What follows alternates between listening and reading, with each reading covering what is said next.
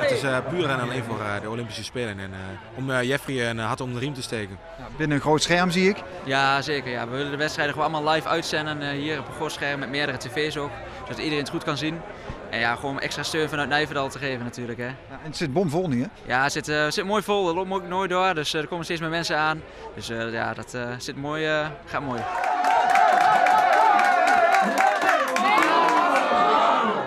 Oh, viertiende. Australiërs.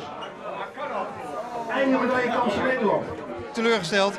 Ja, tuurlijk. Ja, we hadden echt wel gehoopt dat hij een gouden plak zou halen hier. Helemaal met de teamsprint en uh, ja, individueel zou het nog kunnen. Dus daar hopen we nu op. Maar we hadden eigenlijk wel iets meer verwacht uh, van, deze, van deze kwalificatiewedstrijden. En uh, ja, we hadden gehoopt op een gouden medaille natuurlijk vanavond. Maar we hebben wel zoiets van, nou, weet wat, individueel kan het nog. Dus daar gaan we gewoon voor.